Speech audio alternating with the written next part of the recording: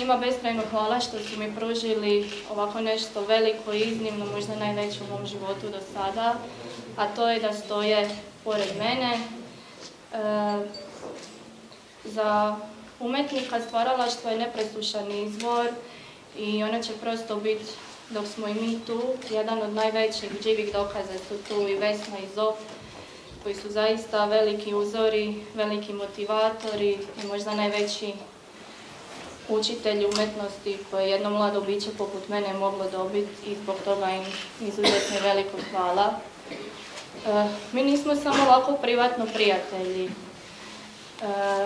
mi nekako večeras pokazujemo da godine nisu važne. Postoji nešto što je puno važnije i nešto što nas spaja. Kada je duša zatomljena, ona je poput kapi. Kako je otvaramo i raskoličujemo, ona postaje okean, a potom prostranstvo.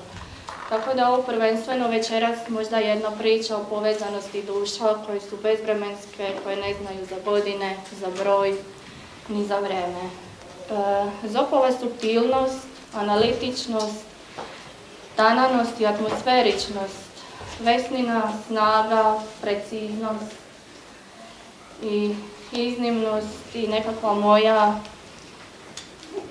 neki moj pokušaj nalaska nečeg subtilnog i tog nekakvog traganja za plemenitim površinama. Večera su neki spoj svih nas što se tiče tog umetničkog